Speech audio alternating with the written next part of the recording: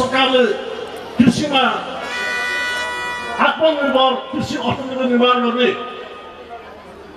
तिन वर्षमा केही महत्त्वपूर्ण क्षेत्रहरूमा दुधमा मासुमा अन्डामा तरकारीमा केही फलफुलको क्षेत्रमा आत्मनिर्भर बनाउने र पाँच वर्षसम्ममा चाहिँ हाम्रो उपजनको उत्पादनको दोब्बर बनाउने यो कार्यको निम्ति सरकारले आफ्नो एजेन्डा तयार गरेर कार्यक्रम अगाडि बढाइरहेको छ त्यसैले उपस्थित महानुभावहरू म यहाँ समक्ष गराउन चाहन्छु यहाँसम्म धन्यवाद दिन चाहन्छु कि हेर्दा एउटा विशाल प्रकृतिको आलुको खानीको रूपमा स्थापित भएको छ राष्ट्रिय आलु महोत्सव यो क्षेत्रबाट हुँदैरहेको छ वास्तवमा भन्नु मन लाग्छ कि हेम्जाको आलुको चिनारी यो मुख्य कुरा कृषिको क्षेत्रमा हेम्जाको लगाव त्यागको पक्ष ठुलो एउटा कृषि क्रान्तिको निम्ति कसरी ढुङ्गा रूपमा हिँड्दा स्थापित भएको देख्न पाउँदा म यहाँलाई विशेष धन्यवाद चाहन्छु हार्दिक आभार व्यक्त चाहन्छु वास्तवमा कृषि क्षेत्रमा भएको यो उल्लेख्य योगदान हो यसले हाम्रो गाउँको चुनाव गरेको छ यसले हाम्रो जिल्लाको चुनाव गरेको छ यसले हाम्रो प्रदेशको चुनाव गरेको छ र यसले नेपालको कुनै पनि कुनामा पोखरामा हेन्दा हुने बित्तिकै आलुको नामसँग परिवर्तित रूपमा स्थापित गरेको छ त्यस मानेमा तपाईँ सम्पूर्ण किसान आलुलाई बुवामा जानु दिदीबहिनी प्रति म हार्दिक आभार एवं धन्यवाद दिन चाहन्छु। अहिले नेपालको कृषि अर्थतन्त्र हेर्नुहुन्छ भने नेपालमा अझै पनि उन्तिस प्रतिशत नेपालको कुल आय कृषिको क्षेत्रबाट उम्रेको छ नेपालमा अहिले पनि पैँसठी पोइन्ट छ प्रतिशत किसानहरू छन् र नेपालको मुख्य आय अहिले कृषि बन्दै आएको छ र हामीले यसको जोडमा यसको बलमा अब हामीले नेपालमा कृषिमा एउटा आमूल परिवर्तन कृषिमा वैज्ञानिकरण कृषिमा व्यवसायीकरण हाम्रो माटो अनुसारको उत्पादन हावापानी अनुसारको उत्पादन बजारको माग अनुसारको उत्पादन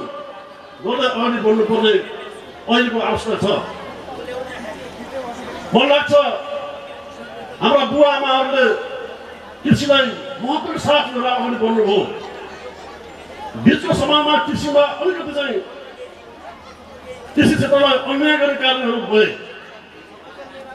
कृषि काम गर्ने मान्छेहरूलाई अपमान गर्ने कृषक बुवा अपमान गर्ने कार्य पनि भए। तर अहिले समय बदलिएको छ अब संस्कार बदलिनु पर्छ अब किसानलाई सम्मान गर्ने किसानलाई पुरस्कृत गर्ने स्थानीय स्तरबाट जिल्ला तहबाट प्रदेशबाट केन्द्रीय तहबाट किसानलाई चाहिँ सम्मान गर्ने कार्यक्रमहरूमा चाहिँ म अगाडि बढिरहेको कुरा हामीले अनुभूति गरिरहेका छौँ वास्तवमा हुनुहुन्छ भने हामीले किसानलाई सम्मान गर्न सक्नुपर्छ किसानलाई अपमान भयो भने त्यो राष्ट्रको विरोधी हुन सक्छ वास्तवमा राष्ट्रले सिङ्गो समाजले कृषि क्षेत्रलाई हामीलाई आत्मसात गर्नै पर्छ किनभने हामीले खाने भनेको कृषि उपज हो हामीले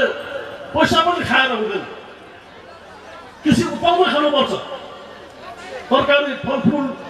खाद्यान्न दुध अन्डा मासु यो कृषिको महत्त्वपूर्ण उत्पादन हुन् वास्तवमा कृषिको क्षेत्रमा काम गर्ने मान्छेहरू कृषि वैज्ञानिक हुन् त्यस मानेमा हामीले कृषि कृषकहरूलाई सम्मान गर्नुपर्छ भनेर अब हामीले सम्मानको थालनी विगत सालदेखि गरेका छौँ र तपाईँहरूले पनि आज पनि सम्मान गर्नुभयो त्यो सम्मानको कार्यक्रम निरन्तरमा अगाडि बढ्नेछ त्यसैले म आयोजकजीहरूलाई र सम्मानित कृषकहरूलाई पनि म हार्दिक आभार एवं धन्यवाद चाहन्छु वास्तवमा हामीले हाम्रो कृषिमा आत्मनिर्भरता कायम गर्नको निम्ति हामीलाई भूमि आवश्यक पर्छ भूमि अहिले बाँझो बन्दै गएको छ भूमि अहिले खण्डीकरण हुँदै गएको छ हामी के चाहन्छौँ भने अब बाँझो जग्गाहरूलाई ठिक ढङ्गले उपयोग गर्नु पर्यो बाँझो जग्गाहरूलाई हामीले उत्पादनमा बदल्नु पर्यो अब हाम्रा बाँझो जग्गा कुनै व्यवसायीहरू कुनै कम्पनीहरू कृषक कम्पनीहरू सहकारीहरू समूहहरू आए भने तपाईँ हामीले हाम्रो बाजा जग्गाहरू निश्चित कर लिएर निश्चित त्यसको मूल्य लिएर लिज लिएर करार सिस्टममा पाँच वर्ष दस वर्ष पन्ध्र बिस वर्षसम्म हामीले दिनुपर्छ र हाम्रो जग्गाहरू दिने क्रममा हाम्रो जग्गाको स्वामित्व हस्तान्तरण हुँदैन तर जग्गा बाँझो पनि हुँदैन त्यस बेलामा जग्गाले दिने प्रतिफल पनि हामीले लिज मार्फत भाडा पाउने गर्छौँ पैसा पाउँछौँ